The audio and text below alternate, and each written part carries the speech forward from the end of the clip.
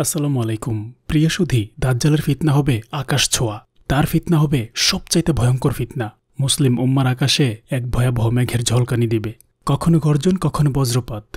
আলো আধারের এক জাদুকরী পরিবেশ। সর্বদা এক অজানা উৎকণ্ঠায় মূর্ছা যাওয়ার ভয় বিরাজ করবে। দাজ্জাল সত্যকে মিথ্যা আর মিথ্যাকে সত্যরূপে প্রদর্শন করবে। সাদাকে কালো আর কালোকে সাদা বানিয়ে উপস্থাপন করবে। হককে বাতিল আর বাতিলকে হক বানিয়ে ফুটিয়ে তুলবে। নজরবন্দি করে মানুষের সঙ্গে প্রতারণা করবে। মানুষের লোভ, লালসা, কামনা, বাসনা, অভাব, স্বভাব, মূর্খতা, অসারতা, দুনিয়া, প্রীতি উদারনীতি ইত্যাদিকে কাজে লাগিয়ে দাজ্জাল তার আগ্রাসন চালিয়ে যাবে। তার ফিতনা এতটাই ভয়ঙ্কর হবে যে, একজন খাঁটি ইমানদার মানুষও তার সামনে গিয়ে দিশেহারা হয়ে যাবে। খেই হারিয়ে ফেলবে, ইমান হারিয়ে বেইমান মোরতাদ হয়ে যাবে। তার দলে যোগ দিয়ে আরাম আয়াসের জিন্দিগি ভোগ করতে থাকবে। তার জহৎ তার দিনদারিত্ব, তার আল্লাহ ভীতি নিমিষেই ধুলোয় মিশে যাবে। আদম আলাহিসাল্লাম থেকে শুরু করে কিয়ামত পর্যন্ত দাজ্জালের ফিতনার মতো ভয়াবহ ফিতনা আর হবে না। বেইমানরা হবে তার সঙ্গী সাথী, আর ইমানদাররা হবে তার দুশ্মন ও ফিতনার লক্ষ্যবস্তু। সর্বশক্তিমান আল্লাহ তাকে অলৌকিক ক্ষমতা দিবেন। তার এই ক্ষমতা বলে সে এমন সব অভূতপূর্ব ফিতনা ছড়াবে যে সমগ্র মানবজাতি কিংকর্তব্য বিমূর হয়ে পড়বে। এমনকি সমাজের সবচাইতে জ্ঞান বুদ্ধি সম্পন্ন ব্যক্তিটিও হতবুদ্ধি হয়ে যাবে। সে মানুষের অন্তর নিয়ে খেলবে খেলবে বিশ্বাস নিয়ে। ললাটে কাফির লেখা থাকলেও সে নিজেকে প্রভু দাবি করবে। লাহাউলা কুয়াতা ইল্লা বিল্লাহ। মানুষ এতটাই অন্ধ হবে যে দিকবিদিক ভুলে তার এই ধোকাতেই পা দিবে। মানুষ তাকে প্রভু হিসাবে মেনে নিবে। আর মেনে নিবেই না কেন? আল্লাহর যেমন আওলাদ নেই, তারও তেমন আওলাদ নেই। আল্লাহ যেমন পুনরুত্থান ঘটাবেন, দাজ্জালও তেমনি পুনরুত্থান ঘটাবেন। আল্লাহ যেমন বান্দার জন্য জান্নাত জাহান্নামের ব্যবস্থা রেখেছেন, দাজ্জালের সাথেও থাকবে জান্নাত জাহান্নাম। তবে এত এত অলৌকিক ক্ষমতা থাকা সত্ত্বেও সে তার নিজের অন্ধ চোখ ঠিক করতে পারবে না। বোকা মানুষ, হক ও বাতিল আলাদা করার জন্য দৃশ্যমান এই সামান্য ব্যাপারটাও বুঝবে না। যেই লোক নিজের অন্ধ চোখকে ঠিক করতে পারে না, সে আবার কিসের প্রভু? আল্লাহ রাসুল সাল্লাহ আলহিসাল্লাম এই জন্য সাবধান করে দিয়ে বলেছেন, সে অন্ধ হবে, তোমাদের রব অন্ধ নন। অথচ মানুষ সব ভুলে গুল খেয়ে তার ফিতনায় ডুবে যাবে। বস্তুত চক্ষু তো অন্ধ হয় না, বরং অন্ধ হয় বক্ষস্থিত হৃদয়। সুরা আলহাজ, আয়াত ছেচল্লিশ।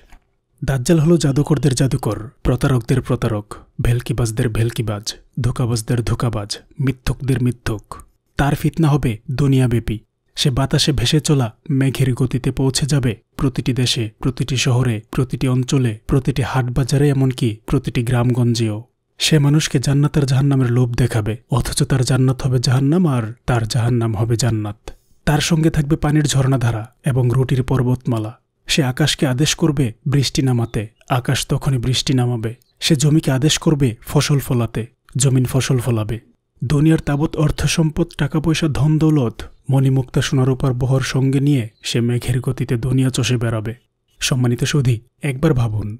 একবার এই চিত্র চোখের সামনে তুলে ধরে চিন্তা করুন, মানুষ কেন তাকে প্রত্যাখ্যান করবে? আপনি, আমি কেনই বা তাকে ফিরিয়ে দিব? আমাদের ইমান কি এতটা মজবুত? আমরা সামান্য দুনিয়ার মুহে পড়ে পাঁচ ওয়াক্ত সালাদ ঠিকমতো আদায় করতে পারি না। সালাদকে বলি কাজ আছে আর কাজকে বলি না যে সালাত আছে। দুনিয়ার সামান্য মোহ টাকা পয়সার লোভে যদি আমাদের ইমান বিকিয়ে দেই, তাহলে দাজ্জালের প্রস্তাব তো সেখানে মেঘ না চাইতেই বৃষ্টি। কোনো রকমের পরিশ্রম ছাড়াই মানুষ অর্থ সম্পদ টাকা পয়সা ধন মণিমুক্তা আর সোনার উপর মালিক হয়ে যাবে। দাজ্জালের অনুসারীরা দুনিয়াতে জান্নাতের আনন্দ উপভোগ করতে থাকবে। যে ইমান আমাকে সালাত আদায় করাতে পারে না, যে ইমান আমাকে অধিক মুনাফার আশায় সুদের চূড়াবালি থেকে বাঁচিয়ে রাখতে পারে না, যে ইমান আমাকে অফিস, আদালত, কলকারখানা দোকানপাট ফেলে মসজিদমুখী বানাতে পারে না, সেই ইমান আমাকে কীভাবে দাজ্জালের আকর্ষণীয় ও লোভনীয় প্রস্তাব থেকে দূরে রাখবে? একদিন রাসুল্লাহ সাল্লাহ আলহিহাল্লাম দাজ্জাল সম্পর্কে আলোচনা করলেন। তখন কথা বলার সময় তার কণ্ঠস্বর কখনো নিচু হয়ে যাচ্ছিল, আবার কখনো উঁচু হয়ে যাচ্ছিল। তার বক্তব্যের ধারায় সাহাবাদের মনে ধারণা জন্মালো, দাজ্জাল খেজুর বাগানের মধ্যেই আছে। পরে সন্ধ্যায় যখন তারা রাসুল্লাহ সাল্লাহ খেদমতে হাজির হল, তখন তিনি তাদের চেহারায় চিন্তার ছাপ দেখে জিজ্ঞেস করেন, তোমাদের কি হয়েছে?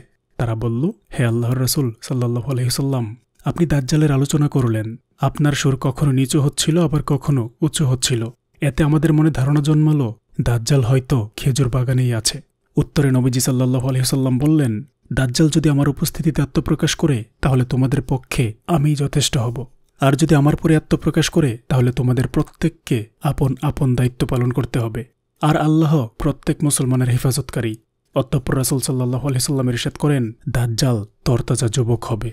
তার চোখ বোঝা থাকবে। সে আব্দুল উজ্জা ইবনে কাতাদের মতো হবে। তোমাদের যেই তাকে পাবে, সে যেন সুরা কাহাফের প্রথম দিকের কোটি আয়াত পাঠ করে। ইরাক ও শামের মধ্যখানে যে রাস্তাটি আছে, সে ওই পথে আত্মপ্রকাশ করবে। সে ডানে বাইয়ে বিপর্যয় ও অরাজকতা ছড়াবে। হে আল্লাহর বান্দাগণ, তোমরা দাজ্জালের মোকাবেলায় দৃঢ়পথ থেকো। সাহাবার আদি আল্লাহ তালাহগণ বলেন, হে আল্লাহর রাসুল সাল্লাহ আলহিহসাল্লাম দুনিয়াতে সে কতদিন থাকবে? নবীজি সাল্লাহ আলি সাল্লাম উত্তর করলেন, চল্লিশ দিন। প্রথম একটি দিন এক বছরের সমান হবে, দ্বিতীয় দিনটি হবে এক মাসের সমান, তৃতীয় দিনটি হবে এক সপ্তাহের সমান। অবশিষ্ট দিনগুলো সাধারণ দিনের মতোই হবে। তারা বলল, হে আল্লাহর রসুল সাল্লাহ আলহিহসাল্লাম তার ভ্রমণের গতি কেমন হবে? আল্লাহর রসুল সাল্লাহ আলহিসাল্লাম বললেন, সেই বৃষ্টির মতো বাতাস যাকে উড়িয়ে নিয়ে যায়, সে একটি সম্প্রদের কাছে আসবে এবং তাদেরকে তাকে রব মেনে নেওয়ার জন্য আহ্বান জানাবে। তারা তার উপর বিশ্বাস স্থাপন করবে এবং সে যা যা বলবে, সব মেনে নেবে। ফলে দাজ্জাল তাদের প্রতি সন্তুষ্ট হয়ে আকাশকে আদেশ করবে, ফলে বৃষ্টি হবে। সে মাটিকে আদেশ করবে, ফলে মাটি ফসল উৎপাদন করে দেবে।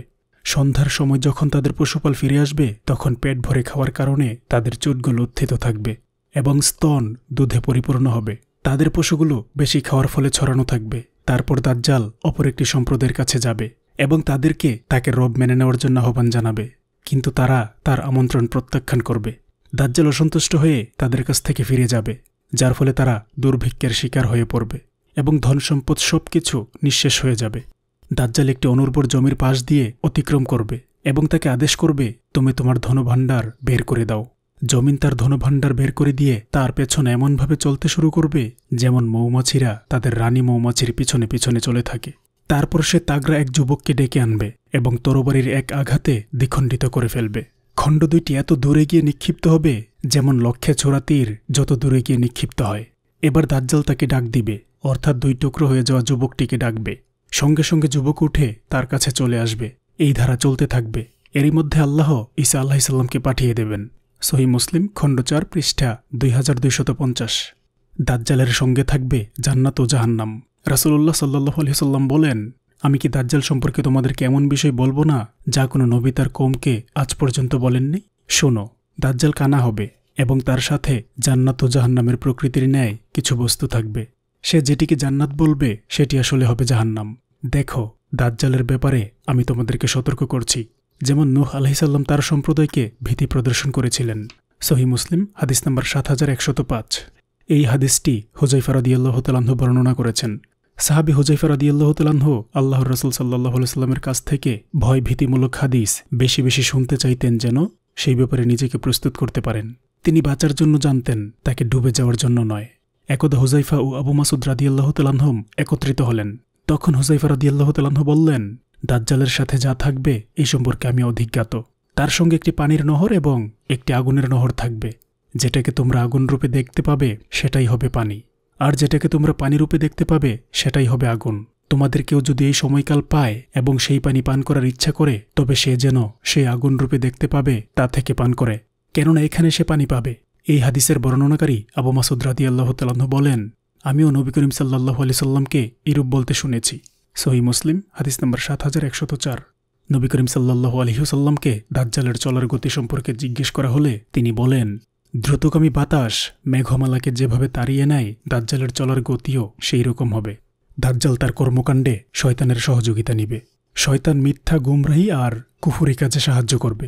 নবী করিম সাল্লাহ আলহিহসাল্লাম বলেন দাজ্জাল মানুষের কাছে গিয়ে বলবে, আমি যদি তোমার মৃত পিতামাতাকে জীবিত করে দেখাই, তাহলে কি তুমি আমাকে প্রভু হিসাবে মানবে? সে বলবে, অবশ্যই মানব। এই সুযোগে শয়তান তার পিতামাতার আকৃতি ধারণ করে সন্তানকে বলবে, হে সন্তান, তুমি তার অনুসরণ করো, সে তোমার প্রতিপালক। সহিহুল জামে আসাগির হাদিস নম্বর সাত হাজার সাতশত বান্ন দাজ্জালের ফিতনার মাধ্যমে আল্লাহ তার বান্দাদেরকে পরীক্ষা করবে। দাজ্জাল আকাশকে আদেশ দিবে বৃষ্টি বর্ষণ করার জন্যে। আকাশ তার আদেশে বৃষ্টি বর্ষণ করবে। জমিনকে ফসল উৎপন্ন করতে বলবে। জমিন ফসল উৎপন্ন করবে। চতুষ্পদ জন্তুকে ডাক দিলে তারা দাজ্জালের ডাকে সাড়া দিবে। ধ্বংসপ্রাপ্ত ঘরবাড়িকে তার নিচে লোকায়িত গুপ্ত ধন বের করতে বলবে। নবীজি সাল্লাহ আলহিসাল্লাম আরও বলেন, দাজ্জাল এক জনসমাবেশে গিয়ে মানুষকে তার প্রতি ইমান আনয়নের আহ্বান জানাবে। এতে তারা ইমান আনবে। দাজ্জাল তাদের উপর বৃষ্টি বর্ষণ করার জন্য আকাশকে আদেশ দিবে। আকাশ বৃষ্টি বর্ষণ করবে, জমিন ফসল উৎপন্ন করবে। এবং তাদের পশুপাল ও চতুষ্পদ জন্তুগুলো অধিক মোটাতাজা হবে এবং পূর্বের তুলনায় বেশি দুধ প্রদান করবে। অতঃপর অন্য একটি জনসমাবেশে গিয়ে মানুষকে তার প্রতি ইমান আনয়নের আহ্বান জানাবে। এই জনসমাবেশে লোকেরা তার কথা প্রত্যাখ্যান করবে। দাজ্জাল তাদের নিকট থেকে ব্যর্থ হয়ে ফেরত আসবে। এতে তারা চরম অভাবে পড়বে। তাদের ক্ষেত খামারে চরম ফসলহানি দেখা দিবে। দাজ্জাল পরিত্যক্ত ভূমিকে তার নিচে লোকায়িত গুপ্তধন বের করতে বলবে। গুপ্তধনগুলো বের হয়ে মৌমাছির দলের ন্যায় তার পিছে পিছে চলতে থাকবে। সহি মুসলিম, অধ্যায় কিতাবুল ফিতান। দাজ্জালের সঙ্গে দুইজন ফেরেস্তা থাকবে, যারা দুইজন নবীর আকৃতিতে তার সাথে সদা বিদ্যমান থাকবে। রাসুল সাল্লাহ আলি সাল্লাম বলেন, আমি ইচ্ছা করলে সেই দুইজন নবীর নাম ও তাদের পিতামাতার নামও বলতে পারব। তাদের একজন তার ডান দিকে থাকবে আর একজন বাম দিকে থাকবে। এটা হবে পরীক্ষাস্বরূপ দাজ্জাল তাদের উদ্দেশ্যে বলবে, আমি কি তোমাদের প্রভু নই? আমি কি মানুষকে জীবিত করতে পারি না? আমি কি মৃত্যু দান করতে পারি না? তখন একজন ফেরেস্তা বলবে, তুই মিথ্যা বলছিস। ফেরেস্তার এই কথা অপর ফেরেস্তা ব্যতি রেখে আর কেউ শুনতে পাবে না। তখন অপর ফেরেস্তা তার জবাবে বলবে, তুমি সত্য বলছো। দ্বিতীয় ফেরেস্তার কথাটি সকলেই শুনতে পাবে। ফলে মানুষ মনে করবে, দ্বিতীয় ফেরেস্তা দাজ্জালকে সত্যবাদী বলছে। এটিও পরীক্ষা স্বরূপ হবে। মুস্তান্দে আহমদ, হাদিস নম্বর একুশ হাজার নয়শত উনআশি। নবীজি সাল্লাহ আলহিসাল্লাম আরও বলেন, দাজ্জাল বের হয়ে মদিনার দিকে অগ্রসর হবে। যেহেতু মদিনায় দাজ্জালের প্রবেশ নিষেধ, তাই সে মদিনার নিকটবর্তী একটি স্থানে অবস্থান করবে। তার কাছে একজন মমিন লোক আসবে। তিনি হবেন ওই সময়ের সর্বোত্তম মমিন বান্দা। দাজ্জালকে দেখে তিনি বলবেন, আমি সাক্ষ্য দিচ্ছি যে তুমি সেই দাজ্জাল যার সম্পর্কে রাসুল সাল্লাহ আলহিসাল্লাম আমাদেরকে সাবধান করেছেন। তখন দাজ্জাল উপস্থিত মানুষকে লক্ষ্য করে বলবে, আমি যদি একে হত্যা করে জীবিত করতে পারি, তাহলে কি তোমরা আমার ব্যাপারে কোনো সন্দেহ পোষণ করবে? লোকেরা বলবে, না। অত্যপর দাজ্জাল সেই মুমিনকে হত্যা করে পুনরায় জীবিত করবে। এরপর যে যুবকটি বলবে, আল্লাহর কসম, তুমি যে মিথ্যুক দাজ্জাল এই সম্পর্কে আমার বিশ্বাস আগের তুলনায় আরও মজবুত হল। দাজ্জাল থেকে দ্বিতীয়বার হত্যা করার চেষ্টা করবে, কিন্তু তাকে আর হত্যা করতে সক্ষম হবে না। বুখারি, অধ্যায় কিতাবুল ফিতান।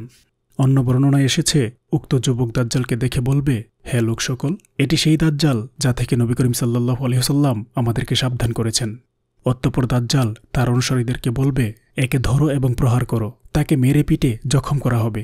অত্যপর দাজ্জাল তাকে জিজ্ঞেস করবে এখনই কি আমার প্রতি ইমান আনবে না? নবী করিম সাল্লাহ আলাইসাল্লাম বলেন উক্ত যুবক তখন বলবে, তুমি মিথ্যাবাদী দাজ্জাল। অত্যপর দাজ্জালের আদেশে তার মাথায় করাত লাগিয়ে দ্বিখণ্ডিত করে ফেলবে। দাজ্জাল দুই খণ্ডের মাঝখান দিয়ে হাঁটাহাঁটি করবে। অত্যপর বলবে, উঠে দাঁড়াও। তিনি উঠে দাঁড়ালে দাজ্জাল বলবে, এখন ইমান আনবে না। তিনি বলবেন, তুমি মিথ্যুক দাজ্জাল হওয়ার ব্যাপারে এখন আমার বিশ্বাস আরও বৃদ্ধি পেয়েছে। অত্যপর তিনি বলবেন হ্যাঁ লোক সকল, আমার পরে আর কারও সঙ্গে সে এরকম করতে পারবে না। অত্যপর দাজ্জাল তাকে পাকড়াও করে আবার জবেহ করার চেষ্টা করবে। কিন্তু তার গলায় জবেহ করার স্থানটি তামায় পরিণত হয়ে যাবে। কাজেই সে জবেহ করতে ব্যর্থ হবে। অত্যপর তার হাত পেয়ে ধরে জাহান্নামে নিক্ষেপ করবে। লোকেরা মনে করবে তাকে জাহান্নামের আগুনে নিক্ষেপ করা হয়েছে। অথচ সে জান্নাতে নিক্ষিপ্ত হয়েছে। নবী করিম সাল্লাহ আলহিসাল্লাম বলেন, এই ব্যক্তি হবে পৃথিবীতে সেই দিন সবচেয়ে মহাসত্যের সাক্ষ্যদানকারী। সহি বুখারি, অধ্যায় কিতাবুল ফিতান। এটা হবে কিয়ামত সংঘটিত হওয়ার পূর্বে দাজ্জালের ভয়ঙ্কর ফিতনার রূপরেখা। মক্কা মদিনা ছাড়া পৃথিবীর সব জনপদেই দাজ্জালের পদচারণা ঘটবে। তার ভয়ে পলায়ন করে মানুষ পাহাড়ে গিয়ে আশ্রয় নিবে। তবে এই কানা লোকটির ক্ষমতার দাপট বাকি সবার উপরে থাকলেও সত্য মমিন বান্দাদের উপরে তার কোনো কর্তৃত্ব থাকবে না।